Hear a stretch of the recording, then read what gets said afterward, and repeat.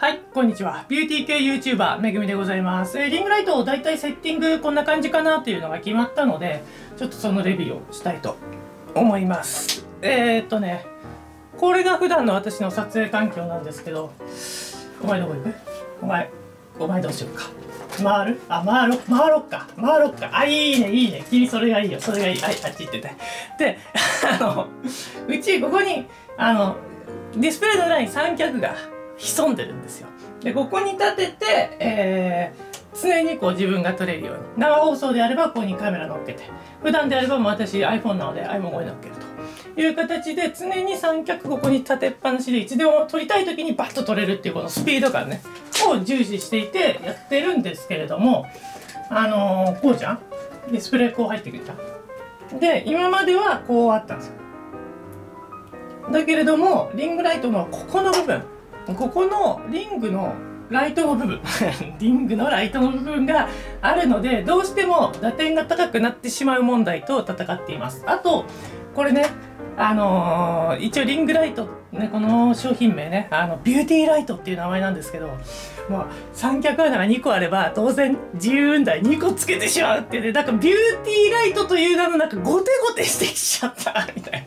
結局こうなるよねみたいな。あっちこっち拡張していってこうなるよねっていうね、典型例ですけど、これだったらね、ほら、こっち側に立てると、こうじゃんで、これこのままね、スポット抜けて、こっちに移植もできる。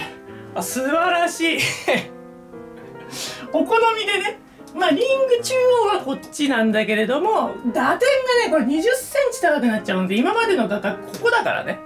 20センチかなり、もう、点から取る点になっちゃうんで、それだったらっていう感じで、こっちを、昨日なんかこっちを使っていたわけですけど、こういう感じですね。ここはどうしても、もういろいろ考えたんだけど無理ですね。だってリング下げれば、ここ、こう隠れちゃうでしょ？だ結局、じゃあ三脚をここに持ってこいと。ディスプレイの前に持ってきて、こうやって、あの、取ればいいと。そうなんだけど、そうすると毎回三脚ここにセットしなきゃいけないじゃないですか。めんどくさい。めんどくさい。まあ、それがめんどくさくない人はやれば一番ここに置けば当たり前なんだけどね。当たり前なんだけど、いいんですけど、こういう使い方の場合、ここの分、打点が高くなってしまうよという、えー問題を、えーはらんでいるかなと思います。まあ、あとはリングのここにカメラが入ろうが、ここに入ろうが、そこまで変わんない。そこまで変わんないっすね。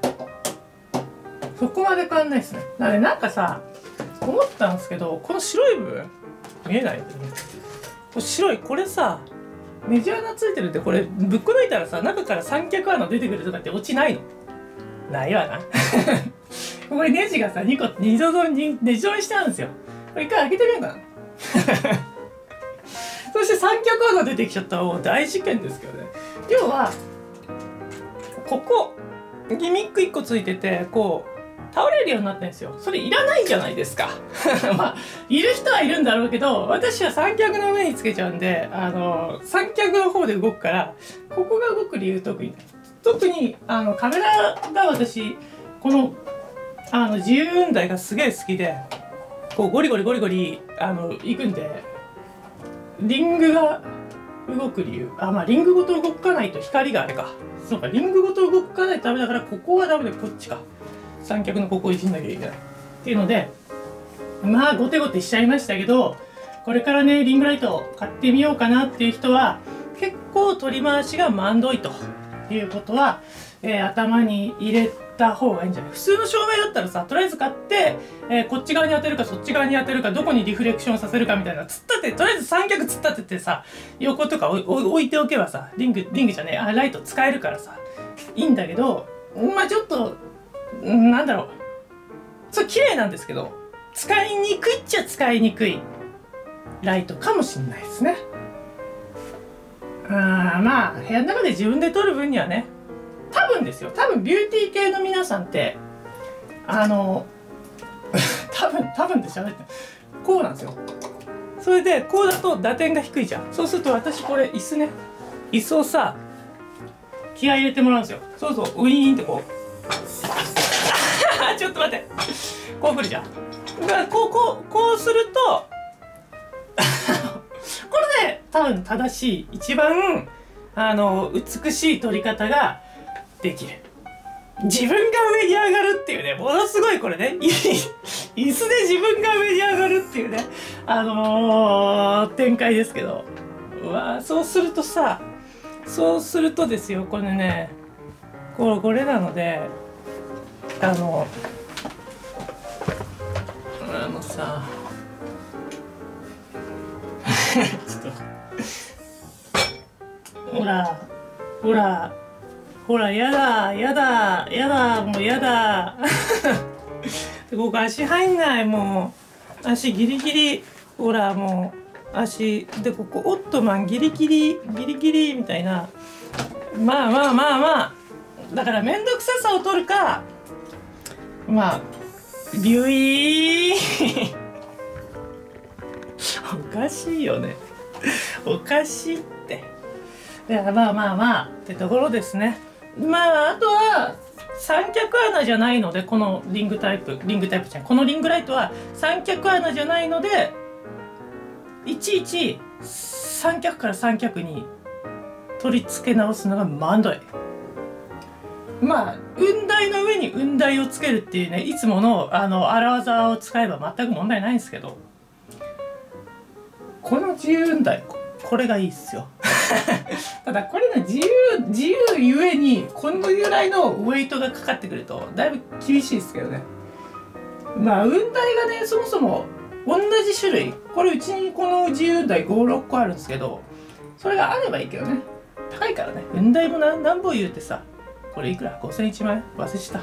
なんですけど56個買ってくるとさ結構ヘビーな値段になってくるんでそこかなと。思いますあとは昨日の動画見てもらって分かる通り？このあのオスメス変換だとか、えー、ダボダボダボ。ダボの穴ダボ穴の変換をこれで買う場合いっぱい買っておいた方がいいっすね。ちょっとあれは危ない。あれがなかったら三脚の上乗らないのでいわゆるポール型の、えー、三脚。通常のカメラ載せる三脚じゃなくてポール型の三脚あるじゃん。あれだったら別に乗るんだけどあのタイプってうちもあれ1台しかないんですよ。他の三脚は5台ぐらいあるんですけど他のっていうかカメラ乗る三脚は5台ぐらいあるんだけどポールタイプは1個しかないのでポールタイプって使わないもんねあんまりだからあのそこ注意してほしいなと思います。そんな感じでリングライト自体はまああの使っていけばいいと思うんですけどセッティングっていう上で